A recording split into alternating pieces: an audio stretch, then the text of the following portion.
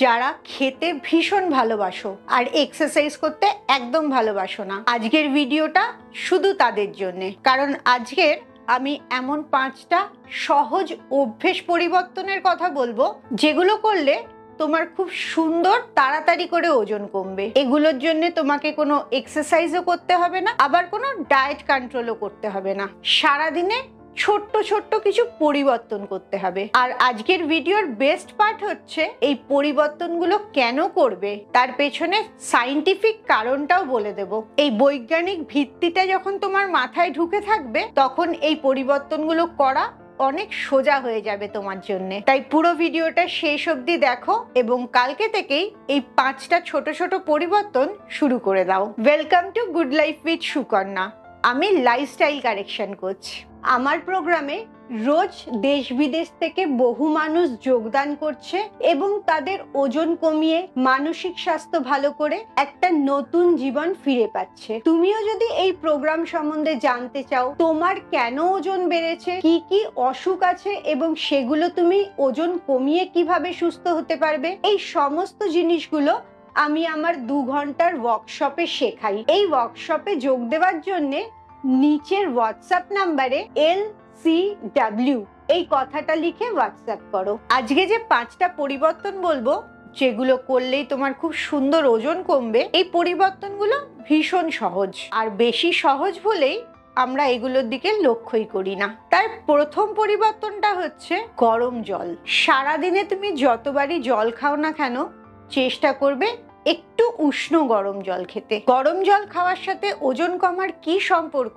এই বৈজ্ঞানিক দৃষ্টিভঙ্গিটা যখন তুমি জানতে পারবে, তখন বুঝবে শুধু গরম জল খেয়েই তোমার কত বেশি উপকার হবে। একটা স্টাডিতে দেখা গেছে, তুমি যতবার গরম জল খাচ্ছ, ততবার তোমার মেটাবলিজমটা বাড়তে থাকছে। আর মেটাবলিজম যত বেশি বাড়বে, তত তাড়াতাড়ি তোমার ওজন কমবে। শুধু তাই না, গরম জল খেলে তুমি যে খাবার খাচ্ছ সেই খাবারের পুষ্টিটাও খুব ভালো মতো তোমার শরীর নিতে পারে। পুষ্টি নেওয়ার শরীরের যে ক্ষমতা, সেটা তখন বেড়ে যায়। তাই তুমি কম খেলেও তোমার পেটটা বেশি ভরে যায়। এই কারণেও তুমি যদি খাওয়ার আগে এক গ্লাস গরম জল খেয়ে নাও, তাহলে খাওয়ার পরিমাণটা তোমার অনেক কমে যাবে। যেটা তুমি জোর করে কমাচ্ছ না এমনি তোমার খিদে পাবে না। অনেকেই এটা দেখবে সকালবেলা এক গ্লাস গরম জল খেয়ে বা চা খেয়ে লোকে পটিতে যায়। কারণ তুমি যখনই গরম জল খাচ্ছ, তোমার ভেতরের ইন্টেস্টাইনটা ওয়াশ হতে অনেক সুবিধা হয়ে যাচ্ছে। সেক্ষেত্রেও শরীরের ভেতর থেকে যত ভালো আবর্জনা বেরোতে থাকবে, তত তোমার শরীরটা হালকা হতে থাকবে। শরীর নিজের নিয়মেই ডিটক্স করে। আবর্জনা বার করে দেয়। তোমার শরীর অটোমেটিক্যালি লিভার কিডনি এসব জায়গা থেকে আবর্জনা বার করতে থাকে। তার সাথে তুমি যখন সারাদিন ধরে গরম জলটা খেতে থাকবে, পেটের ভেতরের খাবারের যে আবর্জনাগুলো আছে সেগুলো খুব ভালো করে বার হয়ে যাবে। শরীরটা অনেক হালকা হয়ে যাবে আর হজম শক্তিটাও খুব ভালো কাজ করতে থাকবে। গ্যাস অম্বলের সমস্যাটা কমে যাবে। আর লাস্ট গরম জলে যে উপকারটা হবে, সেটা হচ্ছে তুমি অনেক রিল্যাক্সড ফিল করবে স্ট্রেসটা কমে যাবে। আর যত স্ট্রেস কমবে, তত তোমার ওজনও কমবে। কারণ স্ট্রেসের সাথে মোটা হওয়ার একটা ডাইরেক্ট সম্পর্ক আছে। এই জায়গাটা থেকেই আমি দ্বিতীয় পরিবর্তনটা বলব। সেটা হচ্ছে স্ট্রেস কন্ট্রোল করার জন্য তুমি কি করবে? যখনই একটু সময় পাবে সারাদিনে ব্রিদিং এক্সারসাইজ করবে। এই ব্রিদিং এক্সারসাইজটা তুমি বক্স ব্রিদিং করতে পারো। বক্স ব্রিদিং মানে বাক্সের যেরকম চারটে দিক থাকে, সেরকমই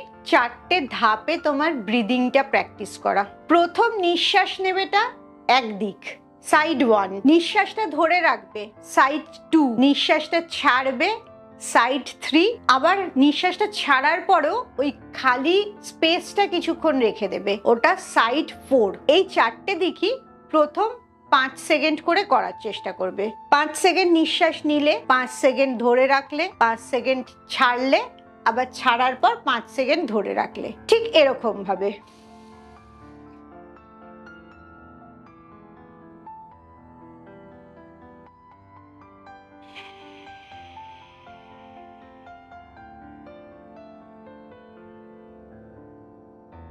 এইভাবে এক একটা সেটে তিন থেকে চারবার করবে এবং দিনে যখনই একটু সময় পাবে বা মনে হচ্ছে একটু টেনশন হয়ে যাচ্ছে স্ট্রেস হয়ে যাচ্ছে, একটু বাজে জিনিস চিন্তা করছ, তখনই এটা করবে। দেখবে ম্যাজিকের মতো স্ট্রেসটা তোমার কন্ট্রোলে এসে গেছে। তুমি যখনই স্ট্রেসটা কন্ট্রোলে এনে নিচ্ছ, তোমার স্ট্রেসটা কমে যাচ্ছে, তখনই প্যারাসিম্প্যাথেটিক নার্ভাস সিস্টেম বলে একটা নার্ভাস সিস্টেম আছে, সেটা অ্যাক্টিভেট হয়ে যায়। তোমার ব্রেনটা রেস্ট অ্যান্ড ডাইজেস্ট স্টেটে চলে যাচ্ছে, শান্ত হয়ে যাচ্ছে। তখন তুমি ডিসিশনসগুলো অনেক ভালো নিতে পারবে, আর ভুঁড়িটা হবে না। স্ট্রেসের সাথে ভুঁড়িটার ডাইরেক্ট কানেকশন যার যার ভুঁড়ি বেশি আছে, সেই বুঝতে পারবে তার স্ট্রেস লেভেলটা অনেক বেশি আছে। সারাদিনে যতবার পারবে, এই এক মিনিট করে ব্রিদিং এক্সারসাইজটা প্র্যাকটিস করো। দেখবে ম্যাজিকের মতো স্ট্রেসটাও কমে যাচ্ছে, ভুঁড়িটাও কমে যাচ্ছে। স্ট্রেস কমার জন্যে শুধু রোগা হচ্ছ,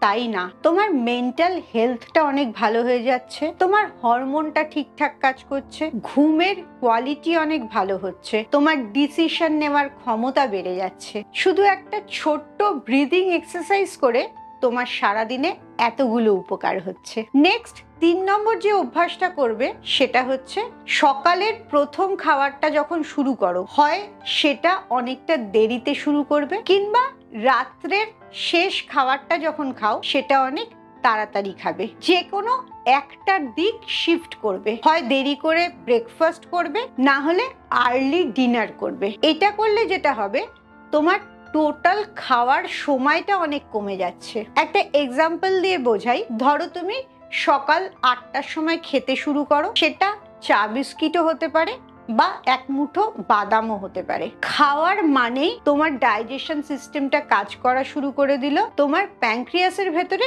ইনসুলিন বেরোতে শুরু করল। এই খাওয়ারটা যতটা দেরিতে শুরু করছ, আটটার জায়গায় তুমি যদি দশটা বা এগারোটায় শুরু করো এবং রাত্রিবেলা যে সকালটা দেরিতে শুরু করবে, সে রাত্রিবেলাটা আবার তাড়াতাড়ি করবে না। সকাল এগারোটার থেকে তুমি রাত্রি নটার মধ্যে খাবার শেষ করছ। তাহলে তুমি সারা দিনে দশ ঘণ্টা খাবার খাচ্ছ, চোদ্দ ঘণ্টা খাচ্ছ না। কিংবা তুমি অনেক সকালবেলা কাজ শুরু করো, সকালে খেয়ে নাও, ডিনার টাইমটা তাহলে এগিয়ে নাও। সকাল আটটা থেকে খাওয়া শুরু করলে রাত্রি ছটা বা সাতটার মধ্যে খাওয়াটা শেষ করে দাও। তাহলেও দেখো, তোমার টোটাল খাওয়ার টাইমটা অনেক কমে যাচ্ছে। যত তুমি খাওয়ার টাইমটা কমাতে থাকবে, তত তুমি বাধ্য হয়ে কম খাবে। অল্প সময় তো প্রচুর খাওয়া যায় না। কিন্তু তুমি যদি সকাল সাতটা থেকে খাওয়া শুরু করো, রাত্রি এগারোটা অবধি খাও, তুমি অনেকক্ষণ অনেক বেশি কিছু খাবে। কম কম করে খেতে থাকলেও অতক্ষণ ধরে অনেক বেশি খাওয়া হয়ে যাচ্ছে। তাই ফোর্সফুলি খাওয়াটাকে কম করার এটা সবচেয়ে ইন্টেলিজেন্ট একটা ধরন। খাওয়ার সময়টাই কমিয়ে দাও। মাঝখানে না খেয়ে থাকবে না। প্রথম খাওয়ার আর শেষ খাবারের টাইমটা লক্ষ্য করবে। এটা যতটা কম করবে, তুমি যাই খাও না কেন, অনেকটা কম খাবে তুমি। তাতে তোমার ডায়েটও করতে হচ্ছে না, কিন্তু খাবার ইনটেকটাও কমে যাচ্ছে। অ্যাজ এ রেজাল্ট ওজন কমাটা অনেক সহজ হয়ে যাচ্ছে। চার নম্বর যে অভ্যাসটা বদলাতে বলব, সেটা খুব এফেক্টিভ হান্ড্রেড পার্সেন্ট রেজাল্ট হবে এটাতে। সেটা হচ্ছে, রাত্রের খাবারে কোনো রকম ডাইরেক্ট কার্বোহাইড্রেট খাবে না।